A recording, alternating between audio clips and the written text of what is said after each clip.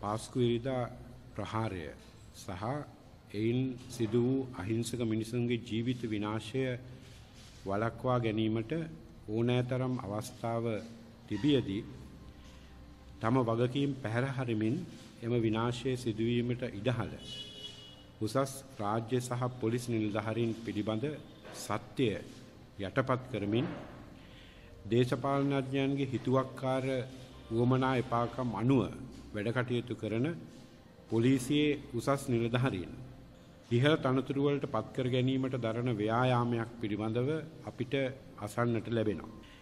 ඒ වගේ අශෝභන සහ දූෂිත උත්සාහයන් පිළිබඳව ශ්‍රී ලංකා පොලිසියේ පහළ නිලධාරීන් මෙන්ම සමස්ත පොදු මහජනතාව දැනුම්පත් කිරීම කිරීමේ අදහසින් තමයි මේ ප්‍රවෘත්ති සාකච්ඡාව අපි පවත්වන්නේ.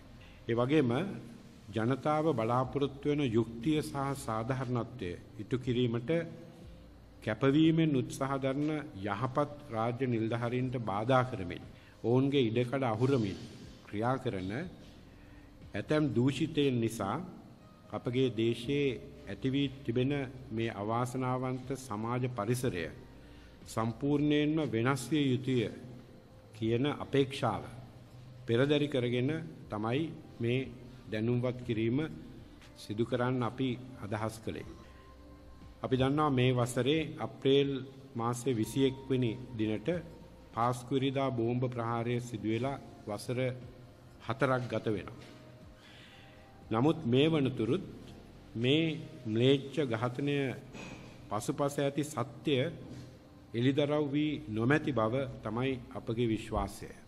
අහිංසක මිනිස්සු 271 දෙනෙකු ඝාතනයට ලක් වෙලා ඒ වගේම තවත් සිය ගානකට තම අනාගතය සම්පූර්ණයෙන්ම අඳුරු කරපු මේ క్రూර බෝම්බ ප්‍රහාරය පිළිබඳව විමර්ශනය කිරීම සඳහා විටින් විට පත් කරපු කොමිෂන් සභා තුනක වාර්තා මේ වන විටත් එඩි දක්වලා තිබෙනවා.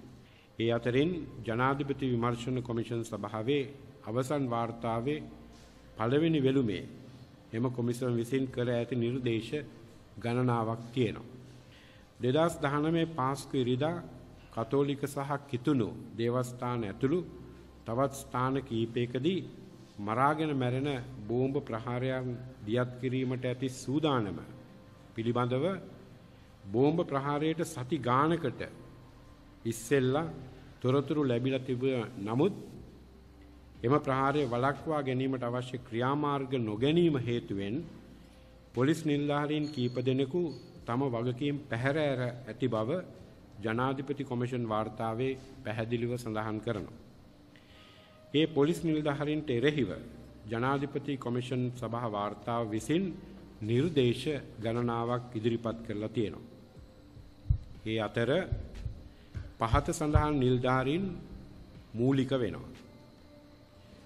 එවකට කොළඹ උතුර බහරව සිටි නියෝජ්‍ය පොලිස්පති දේශබන්ධු තෙන්නකුවන්. නියෝජ්‍ය පොලිස් අධිකාරී සිසිල කුමාර. ඒ කාලේ කටාන පොලිසියේ ස්ථානාධිපති චමින්ද නවරත්න. මේ අය පිළිබඳව ජනාධිපති කොමිෂන් සභාව කරලා තියෙන නිර්දේශ මෙහෙමයි. පළවෙනියම නියෝජ්‍ය පොලිස්පති දේශබන්ධු තෙන්නකෝන් මහත්මයට එරෙහිව මෙන්න මේ නිර්දේශය කොමිෂන් සභා වාර්තාවේ සිංහල පරිවර්තනයේ 350 වෙනි පිටුවේ සඳහන් වෙනවා. ඔහු හුදෙක් පණිවිඩකරුවෙකු ලෙස පමණක් කටයුතු කර ඇති ඇති අතර ඔහුගේ රාජකාරී ඉටු කිරීමට අපොහොසත් විය.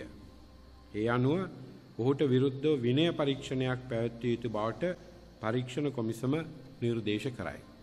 ඔහුට විරුද්ධව විනය පරීක්ෂණයක් පවත්වන්නට ඕන කියලා මේ කොමිෂන් සභා වාර්තාව නිර්දේශ කරනවා. දෙවනි තැනැත්ත තමයි සහකාර පොලිස් අධිකාරී සිසිල කුමාර. ඔහුට එරෙහිව කර ඇති නිර්දේශය මෙයයි. ආරක්ෂාව තහවුරු කිරීම සඳහා ඔහුට ජේෂ්ඨ පොලිස් අධිකාරී චන්දන අතුකෝරාලගෙන් ඇමතුමක් ලැබිණි. ඔහුට ලැබුණු තොරතුරු වලට අනුව ඔහු යටතේ තිබූ පොලිස් ස්ථාන නිසි ලෙස පාලනය කර නොතිබිනි. එබැවින් ඔහුට එරෙහිව විනය පරීක්ෂණයක් පැවැත්විය යුතු බව පරීක්ෂණ කොමිසම නිර්දේශ කරයි. ඒ සඳහන් වෙන්නේ කොමිෂන් සභා වාර්තාවේ සිංහල පරිවර්තනයේ 355 වෙනි පිටුවේ. තුන්වැනි තැනැත්තා කටාන පොලිස් ස්ථානාධිපති චමින්ද නවරත්න. ඔහුට එරෙහිව තියෙන නිර්දේශය මෙයයි. ඔහු සිය රාජකාරී ඉටු කිරීමට අපොහොසත් වී ඇත. ඉහත තත්ත්වයන් මත ඔහුට එරෙහිව විනය පරීක්ෂණයක් පැවැත්විය යුතුය. එබැවින් ඔහුට එරෙහිව විනය පරීක්ෂණයක් පැවැත්විය යුතු බව පරීක්ෂණ කොමිසම නිර්දේශ කරයි. 362 වෙනි පිටුව. ජනාධිපති විමර්ශන කොමිෂන් සභාවේ නිර්දේශ ක්‍රියාත්මක කරන ලෙස ඉල්ලා සිටිමින් කොළඹ අගරදගුරු අතියුතු මැල්කම් කාදිනල් රංජිත් හිමිපාණන් තම නීතිඥයන් මාර්ගයෙන් පොලිස්පතිවරයාගෙන් ඉල්ලීම් ගණනාවක් කරලා තිබුණා. අඩු වශයෙන් එම ලිපි ලැබුණ බව දන්වා පිළිතුරක්වත් එවීමට පොලිස්පතිවරයා මේ දක්වාත් අපොහොසත් වෙලා තිබෙනවා. ඒ වෙනුවට සිදු වෙලා තියෙන්නේ මේ පොලිස් නිලධාරීන් හට අඩු වශයෙන් එක නිලධාරියෙකුටවත් උසස් වීම සහ අමතර වගකීම් පැවරීම. පරීක්ෂණ කොමිසන් සභාව වෙනුවෙන් වැය කොට ඇති මුදල රුපියල් 9 කෝටි 13 ලක්ෂයකට වඩා වැඩි. එම කොමිෂන් සභාව මගින් අවසානයේ ඉදිරිපත් කොට ඇති නිර්දේශ ක්‍රියාත්මක නොකිරීම මේසා විශාල මහජන මුදල් ප්‍රමාණයක් නාස්ති කිරීමක්. ඒ නිසා ඉහත සඳහන් පොලිස් නිලධාරීන්ට එරෙහිව ජනාධිපති කොමිෂන් සභාව විසින් කර ඇති නිර්දේශ වහාම ක්‍රියාත්මක කිරීමට පොලිස්පතිවරයාට රිට් ආඥාවක් නිකුත් කරන ලෙස ඉල්ලා අතියුතුම් මැල්කම් කාදිනල් රංජිත් හිමිපාණන් විසින් ශ්‍රී ලංකාවේ කතෝලික සභාව වෙනුවෙන් අභියාචනාධිකරණයෙහි දෙදස් විසි දෙකේ ජූනි මාසයේදී නඩුවක් ගොුණු කළා. මේ දක්වා කීපවරක් මේ නඩුව අභ්‍යාජනාධිකරණය විභාග වූ අතර පොලිස්පතිවරයා වෙනුවෙන් ඉදිරිපත් වූ නීතිපතිවරයා ඉල්ලා සිටියේ මේ පිළිබඳව ශ්‍රේෂ්ඨාධිකරණයේ පනවා ඇති පෙත්සමේ තීන්දුව ලැබෙනතුරු මෙම නඩු විභාගය පමා කළ යුතු බවයි. එසේ වුවත් මෙම නඩුවට සම්බන්ධ කිසිවෙකු ශ්‍රේෂ්ඨාධිකරණ ඉදිරියේ ඇති පෙත්සමට සම්බන්ධ වෙලා තිබුණේ නැහැ. පසුගියදා ශ්‍රේෂ්ඨාධිකරණය සිය තීන්දුව ප්‍රකාශයට පත් කිරීමෙන් අනතුරුව මෙම අභ්‍යාජනාධිකරණ පෙත්සම අරබයා නීතිපතිවරයාගේ ස්ථාවරය වුණේ ජාතික පොලිස් කොමිසම මෙම පෙත්සමෙහි වග උත්තරකරුවන් ලෙස නම් කර නැති බවයි. මේ පෙත්සම අභ්‍යාජනාධිකරණයේ තවදුරටත් විභාග වෙමින් පවතිනවා. පාස්කුවරිදා බෝම්බ ප්‍රහාරයෙන් ඝාතනයට ලක් වූ සහ බරපතල ලෙස තුවාල වූ අහිංසක මිනිසුන් සහ ඔවුන්ගේ ඥාතීන් හට යුක්තිය සහ සාධාරණත්වය දිනා ගැනීමේ ප්‍රයත්නය කොයිතරම් බාධක පැමිණියත් අපි අතහරින්නේ නැහැ. අධිකරණය ස්වාධීනව මේ සඳහා සාධාරණය සහ යුක්තිය ඉටු කරන බව අප තුළ පූර්ණ විශ්වාසයක් තියෙනවා. ඒ විශ්වාසය හැම විටකම තහවුරු වන බව අපිට ස්ථිරයි.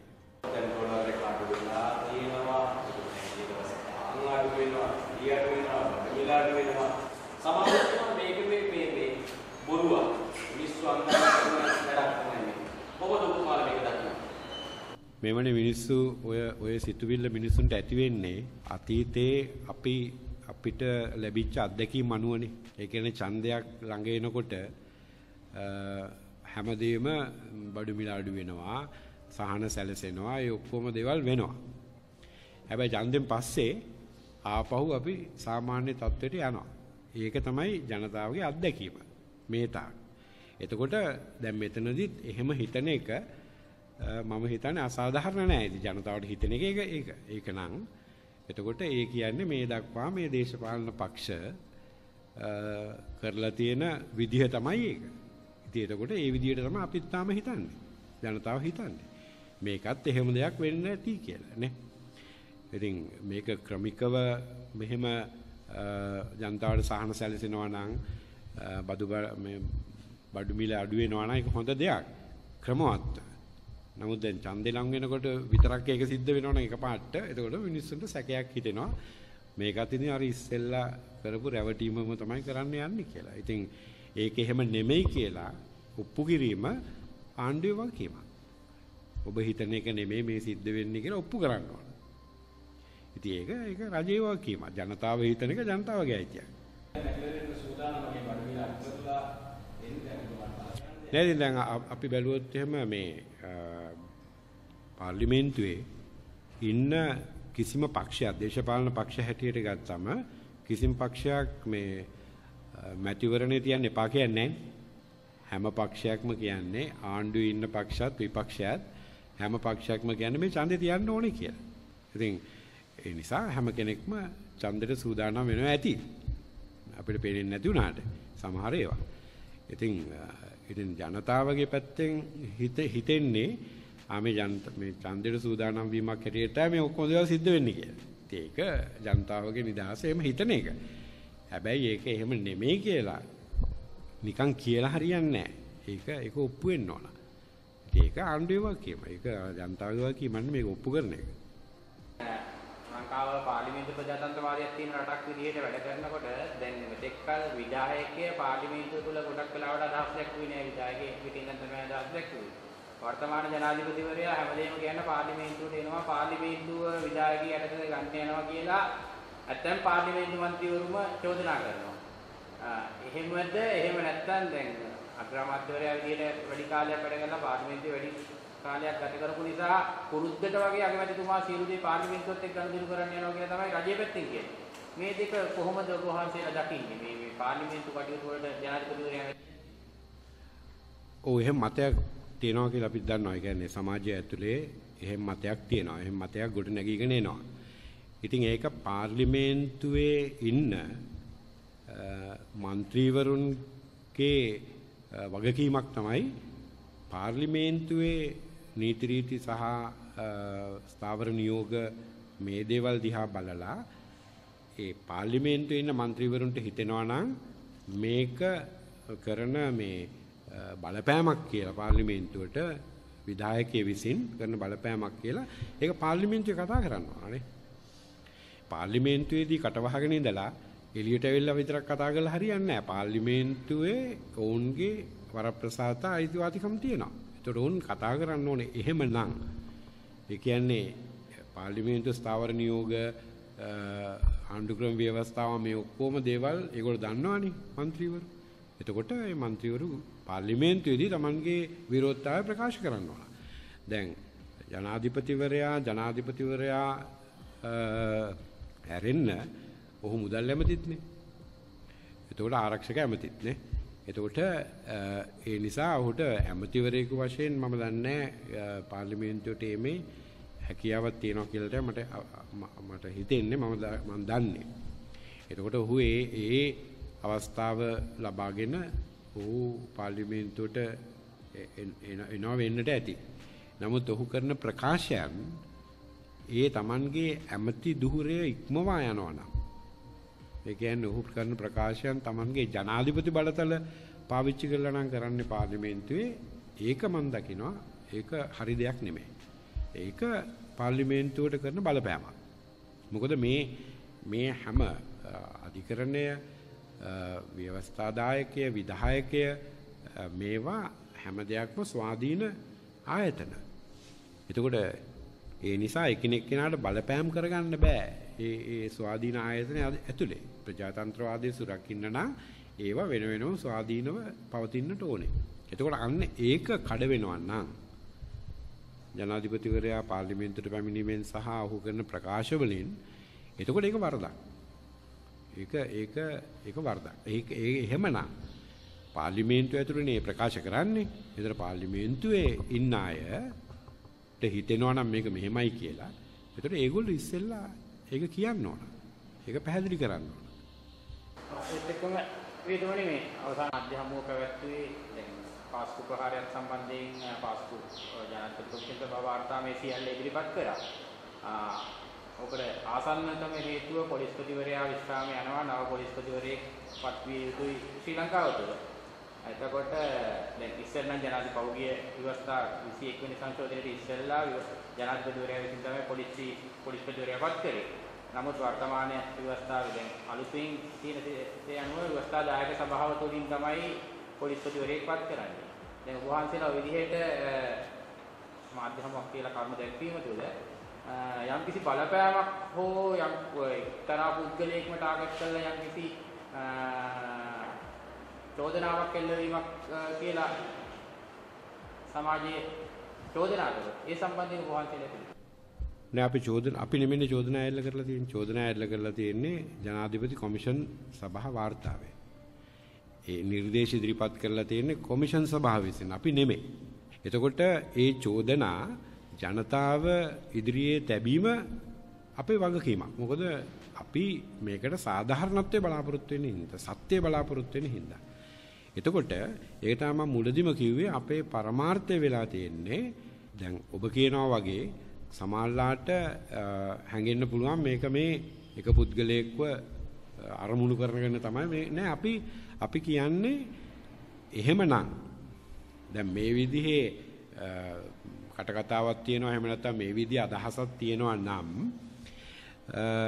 එතකොට ඕනෑම පුද්ගලයෙක් චෝදනා ලබා තිබෙන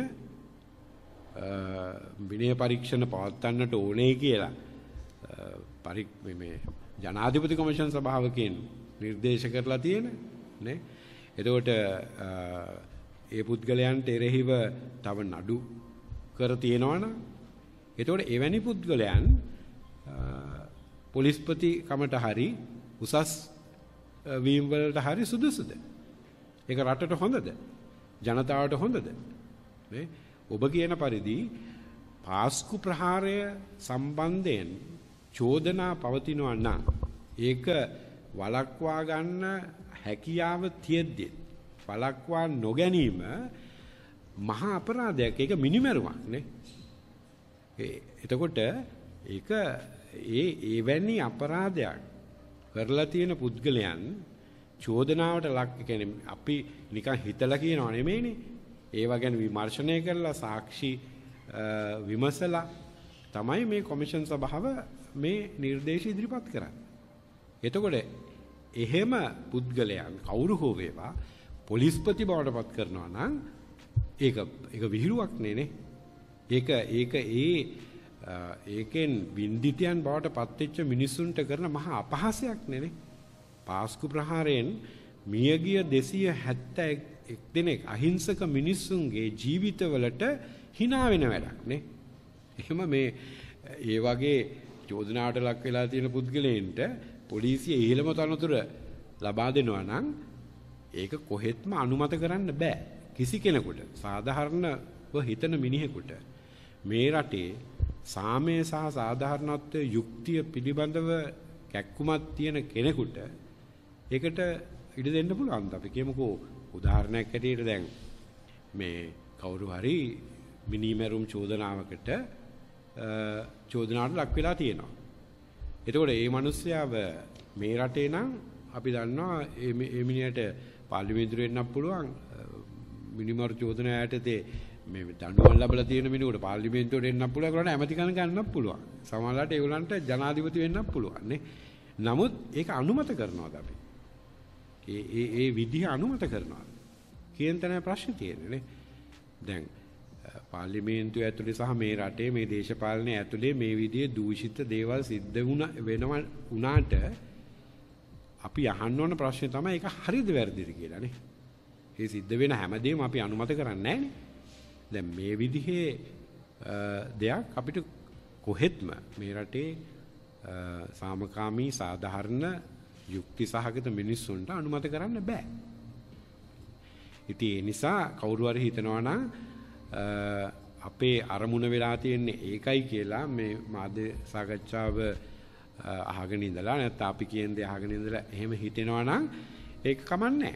ඒක ඒක ප්‍රශ්නයක් නැහැ. ඒක එහෙම හිතෙනවා නම් නේ නමුත් අපේ මූලිකම අරමුණ මේ එක පුද්ගලයෙක්ව මේ අරමුණු කරලා මේක කරන එක නෙමෙයි. නමුත් මේ මේ විදිහේ පොලිස්පතිවරයාට නියෝගයන් නිකුත් කරන්න කියලා කියන්නේ මේ මේ නිර්දේශ ක්‍රියාත්මක කරන්න කියලා. පොලිස්පතිවරයා ඒක කරලා නැහැ මේ වනතුරු. එතකොට මේ නිර්දේශ ක්‍රියාත්මක කරන්න කියන විනය පරීක්ෂණ පවත්වන්න කියලා නිර්දේශ කරලා තියෙද්දි ඒක කරන්නේ නැත්නම් පොලිස්පතිවරයා අපිට තියෙන අධිකරණයට යන්න. එතකොට අපි කරලා තියෙන එක. අපි ප්‍රජාතන්ත්‍රවාදය අගය කරන අධිකරණය පිළිබඳව උපරිම විශ්වාසයක් තියාගෙන ඉන්න පුද්ගලයන් හැටියට අපි අධිකරණයට යනවා. එතකොට අධිකරණයෙන් අපි ඉල්ලා සිටින පොලිස්පතිවරයා නියෝගයක් දෙන්න කියලා මේ නිර්දේශ ක්‍රියාත්මක කරන්න කියන මේ විනය පරීක්ෂණ පවත්වන්නට කියලා. ඒක තමයි අපේ අරමුණ. අපේ අපේ අදිෂ්ඨානය. මොකද අපි මේ අභ්‍යාචනාධිකරණේ ගොනු කරලා තියෙනවා නඩුවක්. මේ රිත්‍රාඥාවක් නිකුත් කරන්න කියලා පොලිස්පතිවරයාට. ඒක ඒක ඇහිමින් පවතිනවා. එතකොට ඒකේ වර්තමාන තත්ත්වය තමයි අපි කිව්වේ. ඉතින් මේ මේ නඩුවේ තියෙන වර්තමාන තත්ත්වය. එතකොට අපි බලාපොරොත්තු වෙනවා අධිකරණය ස්වාධීනව සාධාරණව යුක්ති සහගතව මේ පිළිබඳව තීන්දුවක් දෙයි කියලා. පොලිසියේ නිලධාරීන් කීප දෙනෙකුම සම්බන්ධයෙන් තියෙනවානේ චෝදනා මේ කොමිෂන් සභා වාර්තාවේ. එතකොට අපි කියන්නේ ඒ පුද්ගලයන් මේකට වැරදි කරදු නැද්ද කියන එක අධිකරණයෙන් ඔප්පු කරන්න ඕනි.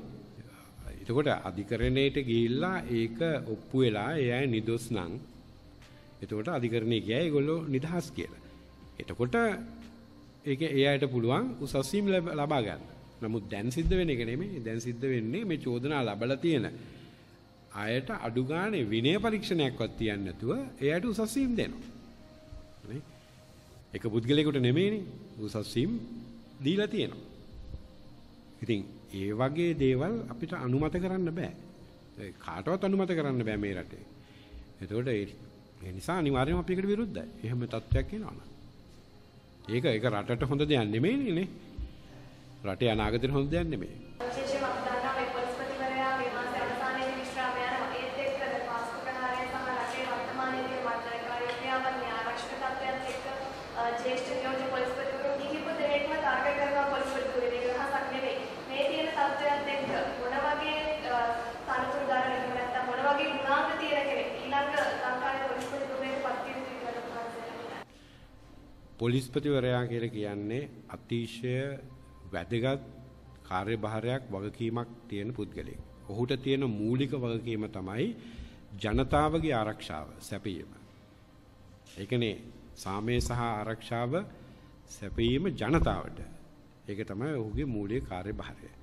එතකොට අන්න ඒ දේ කරන්න පුළුවන් කියලා Tamanගේ අතීත ක්‍රියාකාරකම් වලින් ඔප්පු කරලා තියෙන පුද්ගලයෙක් වෙන එතනට ගේන්න ඕන නේ? ඒ කියන්නේ ජනතාවට විශ්වාසයක් තියෙන්න ඕන. ආ මේ පුද්ගලයා සාධාරණව පොලිසිය හසුරුවයි. මේ පුද්ගලයා එක එක්කෙනා දේශපාලකයන්ව රකින්න නෙමෙයි. නමුත් ජනතාවගේ ආරක්ෂාව සඳහා හිටගන්න පුද්ගලයෙක්. ඔහු ජනතාව මර්ධනය කරන්න නෙමෙයි. නමුත් ජනතාවගේ අයිතීන් ආරක්ෂා කරන්න තමන්ගේ පොලිසිය මෙහෙවන පුද්ගලයෙක්. පොලිසිය ස්වාධීන ආයතනයක්නේ. ඒක දේශපාලනකරණය වෙන්න බෑනේ. එතකොට පොලිසිය දේශපාලනීකරණය වීමෙන් මුදවාගෙන පොලිසියේ ස්වාධීනත්වය ආරක්ෂා කරන්න පුළුවන් පුද්ගලයෙක්. මොකද ඔහුට ජනතාවට ඒ වගේ විශ්වාසයක් ඇති වෙන්න ඕන මේ පත් කරන පුද්ගලයා පිළිබඳව. එතකොට ඒක බලන්න වෙන්නේ ඔවුන්ගේ අතීත ක්‍රියාකාරකම් එක්ක. නැතු අපි දන්නේ නැහනේ එයාගේ ඇතුලේ තියෙන මොනවද කියලා. එයා ක්‍රියා කරලා තියෙන විදිය මේ දක්වානේ. එතකොට මේ දක්වා වුන් ක්‍රියා කරලා තියෙන ජනතාව පීඩාවටපත් කරන කරන විදියට නම් එහෙම නැත්නම් දේශපාලකයන් විතරක් ආරක්ෂා කරන පිළිවෙලට නම් දේශපාලකයෝ කියන ඕනම මේ දෙයක් කරන විදිහට නම් ඔවුන් ක්‍රියා කරලා තියෙන්නේ එහෙම නැත්නම් ඔවුන්ට චෝදනා තියෙනවා නම් විවිධ විදිහේ නඩු කර තියෙනවා නම් ඉතින් එහෙමනම් එවැනි පුද්ගලයන් පොලිස්පති ධූරයට පත්වීමට අපි කවුරුත් විරුද්ධ වෙනවා. නේ? ඉතින් ඒ නිසා අපිට අවශ්‍ය පොලිස් දෙපාර්තමේන්තුව එහි ස්වාධීනත්වය ආරක්ෂා කර ගනිමින් දේශපාලන කරණයෙන් මුදවාගෙන ජනතාවගේ ආරක්ෂාව සහ රටේ සාමය වෙනුවෙන් කෙලින් හිටගන්න පුළුවන් එඩිතර අවංක පුද්ගලයෙක්. වාර්තාකරණය